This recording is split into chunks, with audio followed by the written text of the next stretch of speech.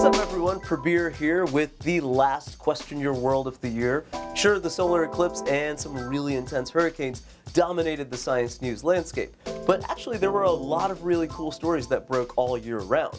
So with that said, let's do a recap of this year's top 5 science deep cuts. Alright, number 5, Animal Discoveries. 2017 was a huge year for animal discoveries and information about our biodiversity. We had thousands of animals discovered this year, including a polka dot stingray, we found a new river dolphin, and scientists even found 50 species of spiders from one site visit to Australia. Now keep in mind that 86% of the animals that live on land and 91% of the animals that live under the water are still left to be discovered. Pretty wild stuff. Number four, let's talk about technology. All right, if we're going to talk about 27 technology, we have to mention two big words, Elon Musk. Musk and his crews at SpaceX and Tesla both had a really good year. SpaceX continued to test and launch their reusable rockets, pretty cool, and Tesla announced a brand new car for their fleet.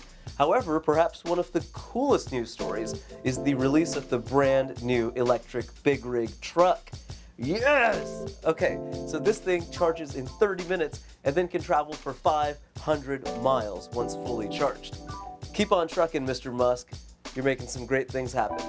All right, number three, we learned a lot more about human evolution, which means we learned a lot more about ourselves. We tend to attribute our upright evolution all the way back to creatures like Lucy, the Australopithecine, dating back 3.2 million years ago. Well, this year, scientists discovered a set of fossilized footprints that were left by an upright walking creature in Greece about 5.7 million years ago. This is pulling into question the linear form of evolution that we're used to, and this is a cool example of how scientists piece together our own story one step at a time. Number two, there were a lot of interesting space discoveries this year. Obviously, we had a big old solar eclipse sweep across the nation and had everyone going, ooh, ah. But there were lots of other cool news stories too. For example, US astronaut Peggy Whitson broke the record for the US astronaut with the most time spent in space, clocking in at a whopping 665 days. Go Peggy. NASA also announced a brand new class of astronauts. Pretty cool.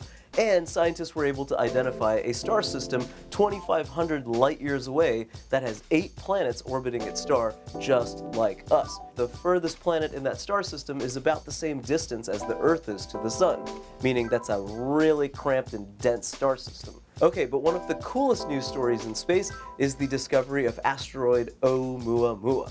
This is the first thing that we've ever discovered to come to us from outside of our solar system. Oh, Oumuamua is traveling at 16 miles per second, too fast to be caught by the sun, and is racing its way out of our solar system. But it's got a lot of astronomers excited to see what else they can spot now that they've tracked the first thing to visit us from outside of our own solar system. And number one, it was a huge year for human impact. Okay, we've got some good news and we've got some bad news. Let's start with the bad news first. Unfortunately, the rusty-patched bumblebee has been added to the endangered species list as of this year. Habitat loss and pesticide use weren't really helping in the first place, but ultimately it was determined that the warming climate has made it harder and harder for these animals to survive. Now this is a big deal for us humans because these bees are pollinators meaning they pollinate our crops, and that's how we get our food. This is a very important animal to be designated as an endangered species. If you want to help out, get a solitary bee colony and put it in your backyard. Give the bees a place to chill out. Trust me, we need these animals. Now, on the other hand, we have some good news too. There's a lot of infrastructure that started to go sustainable and more resilient in Virginia. For example, Facebook is opening a brand new data center right outside of Richmond, Virginia, and it's going to be run 100% on renewable energy. Similarly, Valley Elementary School in Bath County, Virginia is going to be the first school to run entirely on solar power. In fact, it's going to generate so much energy that it'll be able to help power some of the other schools in the district as well flat roofs on these big schools make for an excellent place to collect solar energy, and this is also a great place for students to learn about solar technology and jobs that come with the solar technology industry. So clearly, going solar is a pretty bright idea. Thank you so much for following us all year round. We've loved covering all these stories for you guys. we'll be doing the same in 2018. From all of us to all of you, have a safe, excellent, and happy new year. We'll see you guys in the future.